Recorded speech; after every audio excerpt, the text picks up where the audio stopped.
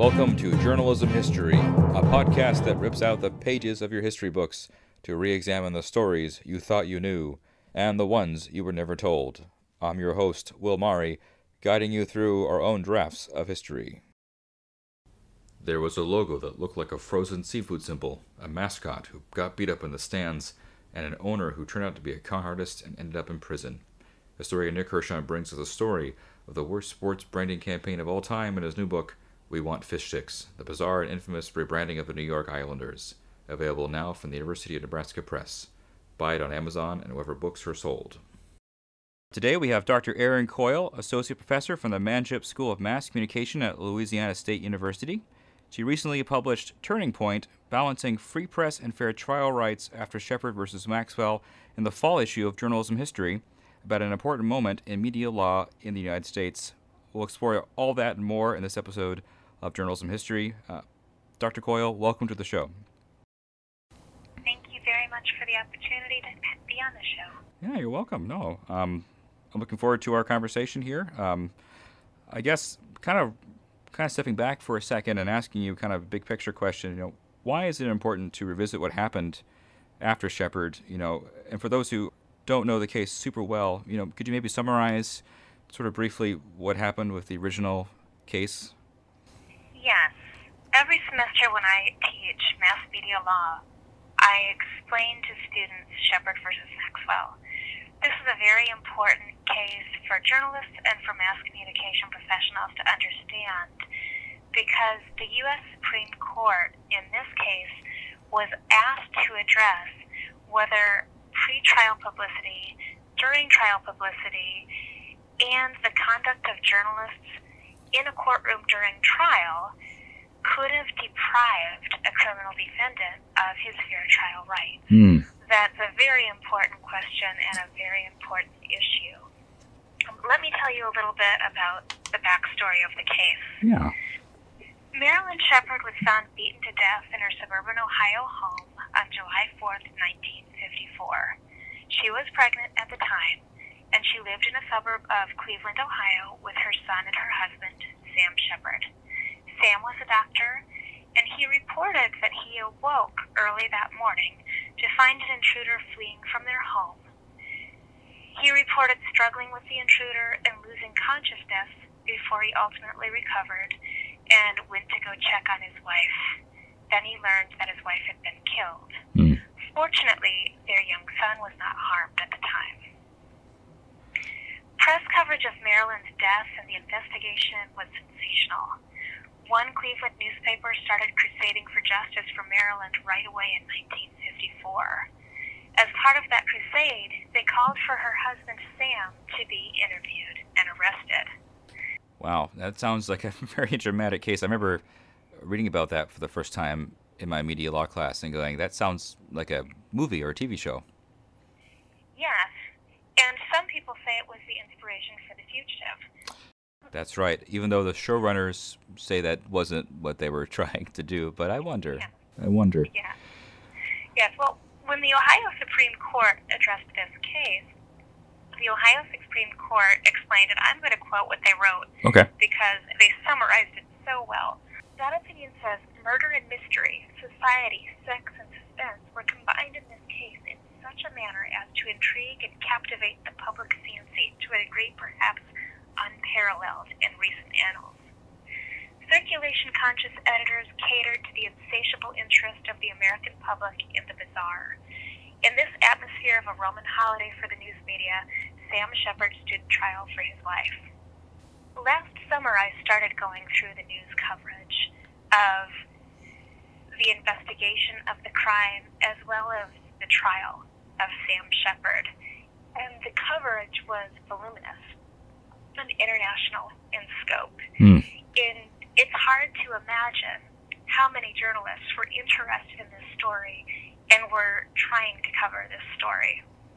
At that time, there were three daily newspapers in Cleveland, Ohio, competing throughout the day, every single day, to be the first ones to have information about the Sheppard story. Wow. Yes. And that became a very important part of the entire case. The volume of the coverage and the tone of the coverage is surprising even today. Especially to note that one of the crusading newspapers not only called for an investigation, they called for Sam Sheppard to be arrested. And one newspaper even suggested that um, he should have the death penalty. Wow.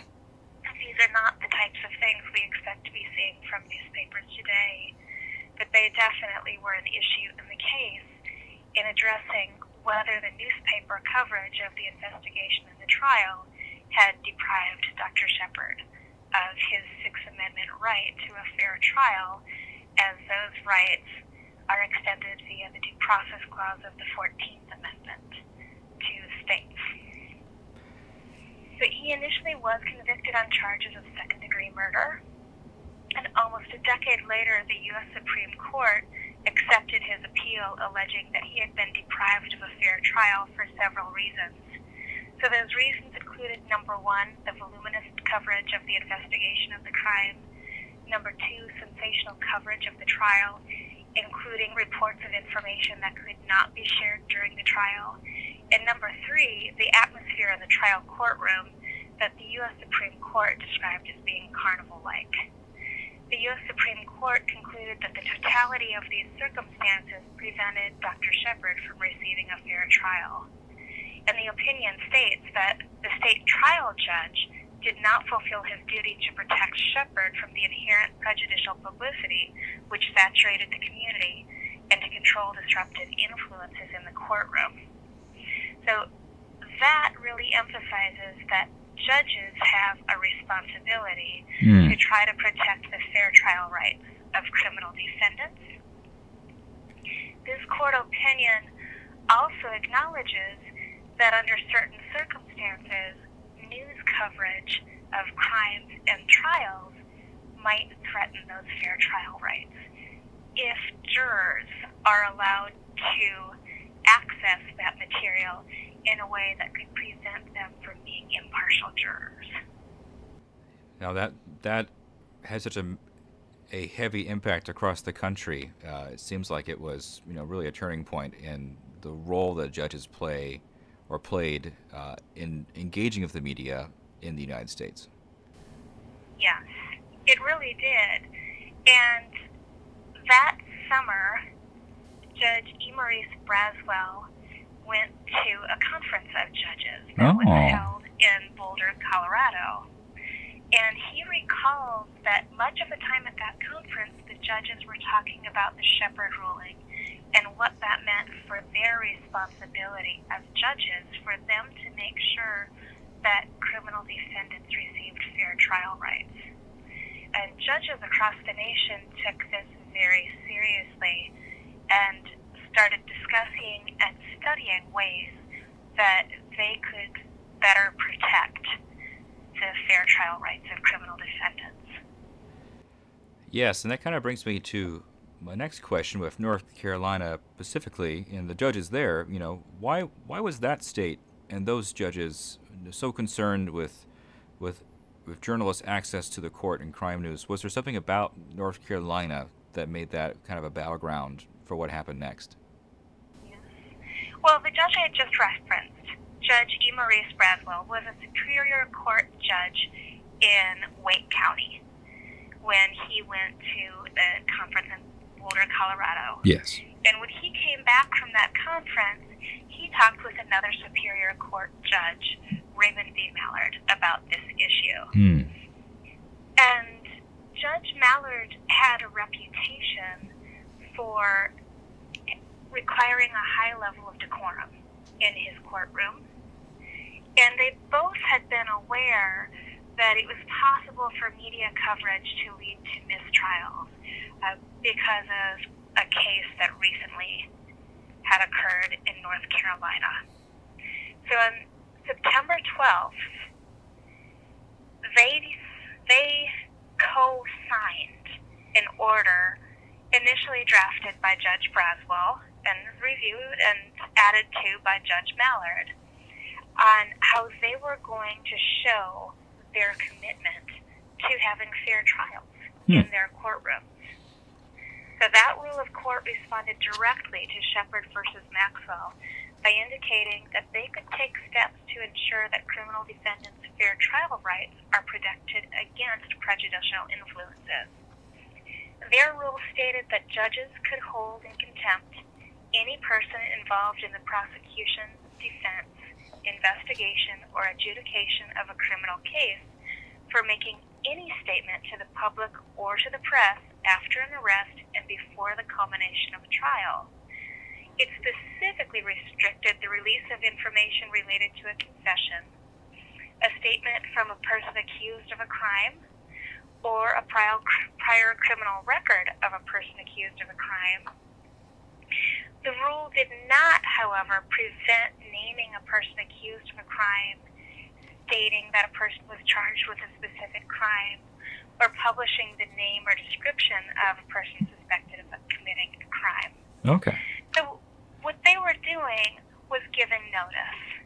Sure. That they had the authority to hold someone in contempt of court if they were releasing information that could prevent a criminal defendant from receiving a fair trial by an impartial jury.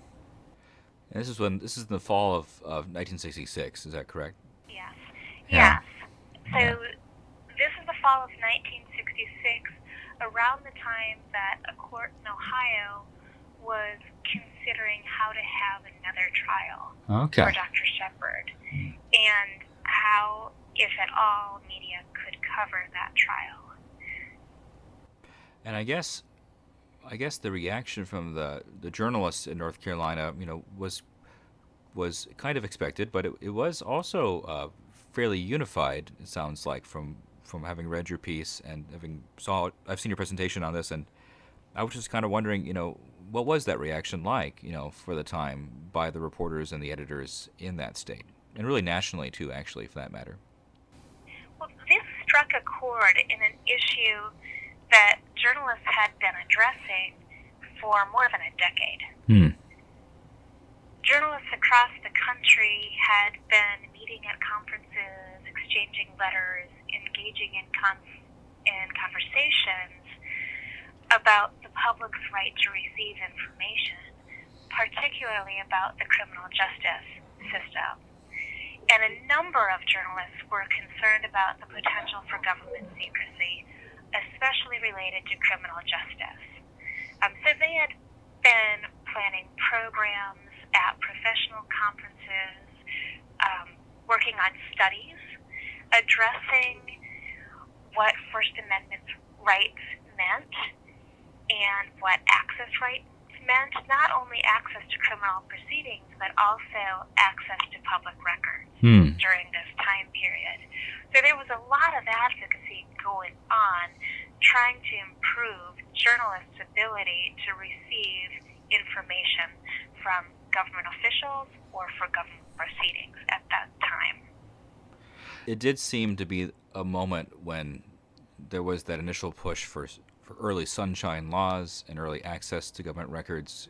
And so I wonder if it was sort of the perfect moment, if anything, to have a reaction to this kind of ruling or this kind of statement by the judges. Yes. Well, hmm. and the journalists advocating for access to information from courts also were involved in advocating for sunshine laws. Oh, okay.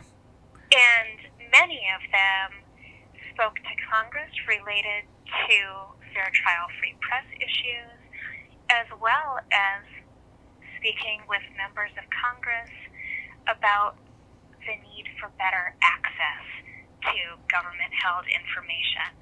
The 1966 was a very important year. 1966 was the year that Sheppard versus Maxwell was decided, and some journalists primarily pointing to that ruling, indicated that they'd had a setback Hmm. as a result of that ruling because people working in the criminal justice system were being very cautious, trying to follow what they believed were the directives from the U.S. Supreme Court. And typically, judges sort of take their cues from the Supreme Court with how they engage with the media. It seems like, and especially at that time. That's, is that is that true? Yes.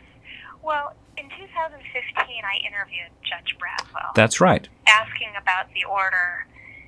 And he was very clear that his intent in writing this order was not, and I repeat, not an attempt to restrict press freedom. Yes. And he said they were not trying to do anything nefarious with this rule of court. They were simply trying to protect the fair trial rights of criminal defendants.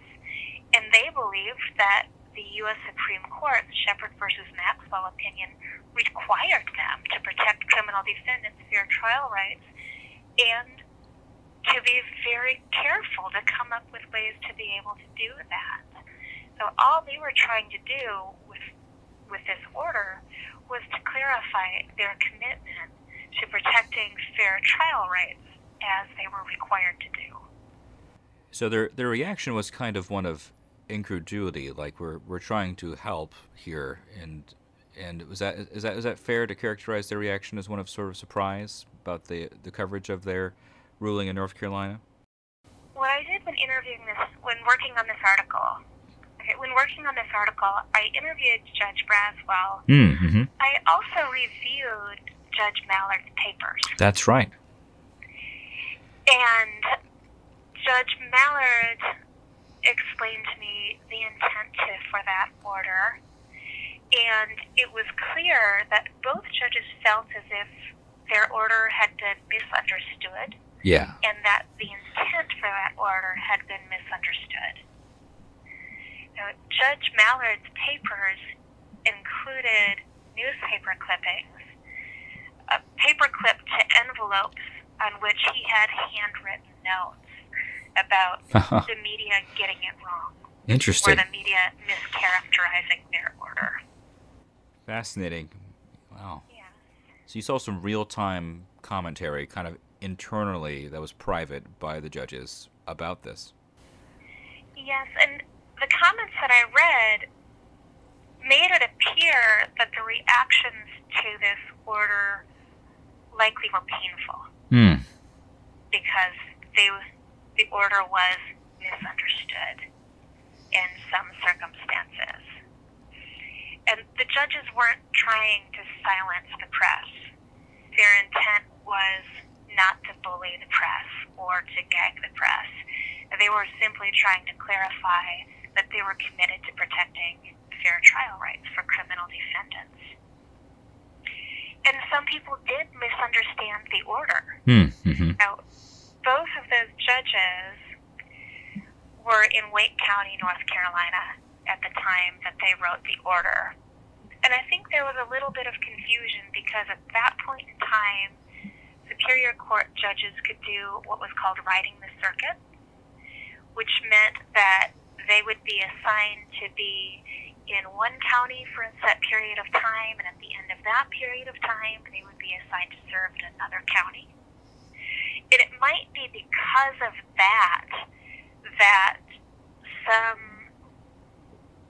public workers in other counties in North Carolina cited the Wake County rule of court as the reason that they couldn't release things such as accident reports. Yes. Sort of taking it a bit too far, you know, at the local level. yes. At the very least, it was a little bit of misunderstanding about what that order covered and what that order was intended to cover. And for journalists, they pointed to these examples of accident reports not being released, which they did not think logically fell under the scope of the order. yes. And they pointed out these examples as threats to the public's right to know about the criminal justice system. And they pointed to those examples as the potential for secrecy to be a problem. And do you think that that was kind of is that kind of something that was um, I, I don't want to say legitimate, but do you think that they were onto something at that time, or do you think if they had only understood the motivations of the judge, they would have maybe had a calmer reaction. Because I, I suspect that there was quite the impasse for you know for some time afterwards. Ultimately, judges and journalists did communicate about these types Hmm. of orders and the intentions behind them, and about journalists' concerns. Yes. And that's where the turning point came about. Okay.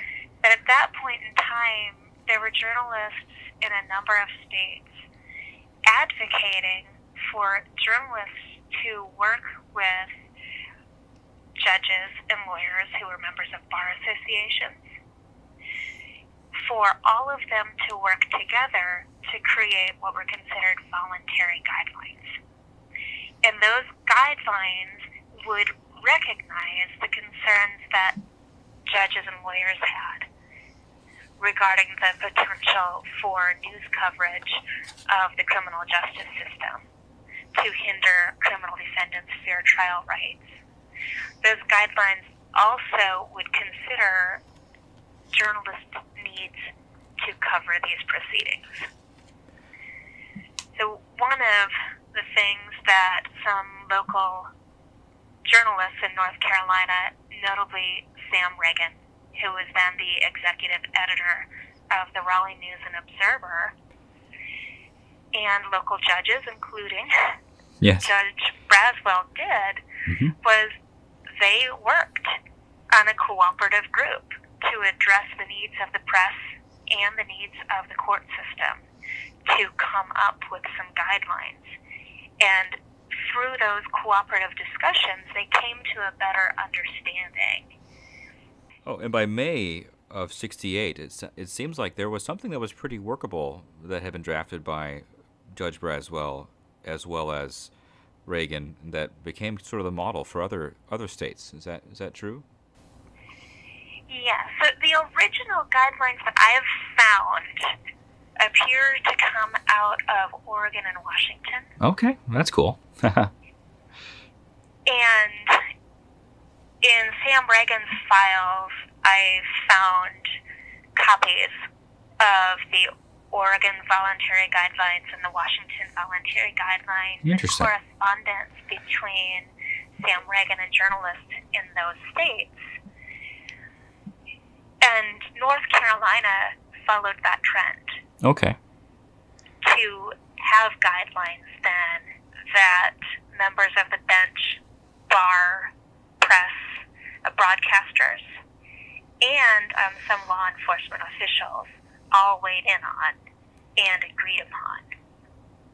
What's important about those guidelines is that they're not legal documents. No, they're These were Yeah. simply cooperative agreements yeah. through which communication helped all of them understand one another's needs.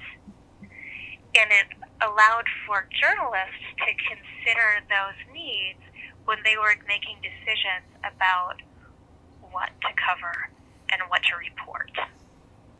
And it is actually fairly remarkable, you know, that they have they seemingly have worked more or less with some major setbacks here or there uh, uh, since then. Is that is that true right through the present moment that these these voluntary guidelines are still still useful and are still helping people? I mean, what are the implications today for for lawyers and for journalists in the wake of of this example of cooperation from 1966 to 1968? Last year, I attended an event that brought together journalists and journalism educators and judges Mm. to discuss how journalists cover the courts and why we cover the courts the way we do and what sorts of tools and access journalists need to be able to cover court proceedings effectively. And I learned a lot from hmm. those conversations. I think those types of conversations are very important to have and to continue having for the press to be able to continue having access to court proceedings, for the press to make it clear why it might be helpful to be able to have a laptop in a courtroom when covering a proceeding, or why the public might expect that a journalist would be tweeting during a court proceeding. And some judges are allowing Hmm. selectively for journalists to use social media or for journalists to use laptops during court proceedings. But it's definitely something that requires conversations between journalists and judges for judges to be able to trust that when we do use those tools, we will do that in a responsible way that is not likely to threaten the fair trial rights of criminal defendants. It is a, a pretty cool thing to see the the collaboration you know, that is respecting the the rights of journalists, the the free press, but also the rights of, of people involved in the trial, the fair trial, kind of work itself out through these these arrangements, and uh, and that's that's a pretty profound legacy it seems like of that of that incident you studied from that era. It is. Well, and as I was going through Justice Mallard's papers, I saw letters that he was receiving from other people around the country asking for copies of the Hmm. order because attorneys and judges in other parts of the country also were grappling with the question of how they could make sure that criminal defendants' fair trial rights were being protected. And they were asking for copies of the Wake County Superior Court order as an example of what they might be able to do. That's pretty cool. I mean, I, I'm so jealous of the the uh, number of really cool finds you you found in your research. But was there anything that was really hard to locate, or a special challenge for you as you went through this project? I think this was an amazing project that I first learned about Sam Ragan's advocacy for freedom of information when I was a doctoral student Hmm. at the University of North Carolina. And years passed before I was able to find more material to be able to keep doing research on this project. I was very fortunate to find Judge Braswell and very fortunate that he was willing to talk with me Hmm. about this experience. It also was amazing to be able to find Judge Mallard's papers and have those be publicly available to be able to review to see the clippings that he saved as well as letters back and forth between Wow. the judges and a draft that Judge Braswell had written as defense of the order that they had written, clarifying their intentions for writing the order. And those materials were very important to go through. In fact, this was an article that necessitated telling both sides of the story. There's a story I first learned through press coverage and through journalists writing about the order was quite different than what I learned by reviewing the other side of the order as well. Yes, you you did such a wonderful job of telling sort of the the backstory and what was happening in the judges' minds, as far as you can, of course, uh, with history. But that's what I found so delightful about this article was it was really quite comprehensive and fair to what was happening inside the judicial system and with these judges and Judge Braswell in particular. Know, that was such a a deep vein of, of really insightful commentary that is, I think, pretty unique in, in media law and media history at the moment. So I, I'm very impressed by your work, and so are many other people. Thank you very much. Yeah. I'm really grateful to be able to do this article and find a home for it. But I believe it's a really important story and that it can be insightful for us today. We're still in a time in which it's very important to be covering the criminal justice system, and there are many questions about how journalists can be covering the criminal justice system and cover it in a way that people are informed as close as possible to the way that we expect to be informed today, but also in a manner that criminal defendants' fair trial rights are respected. It's an ongoing issue, so it was really a privilege to be able to explore how judges and journalists addressed this issue decades ago. Well, that's awesome. No, thank you so much for for all those those uh, insights that I, I wouldn't have gotten if I hadn't had a chance to talk to you today. Um, I guess uh, one final question, Erin. You know, why do you think journalism history matters? That's an excellent question. Journalism history is extremely important. It's important for us to know what happened in the past for us to understand how we got to where we are today and where we might be able to go in the future. And I believe that we can make better informed decisions about what we want to do and what we want our profession to be if we understand what it has been in the past. And able to look at incidents like this that happened in the past, uh, we can think through how it was addressed.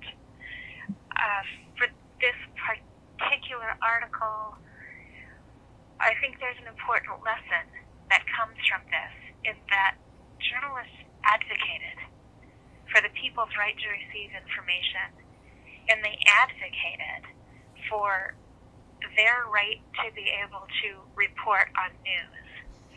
That advocacy required them to go beyond writing opinion pieces on the opinion page. Hmm. They were actually going and speaking to members of the American Bar Association, going to judicial conferences, going to local community groups to talk about the issues, to explain to them what news was Hmm. and to convey to the public what their values are. It, it's very important for us to remember in today's environment that not everyone understands the intent of journalists or the role of journalism in society.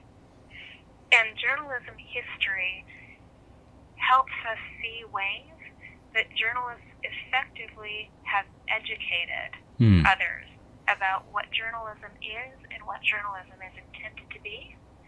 And I think it provides us with examples of how we can continue advocating for journalism. Thanks for tuning in, and thanks again to our sponsor, author Nick Hirshon. Until next time, I'm your host, Will Mari, signing off with the words of Edward R. Murrow. Good night and good luck.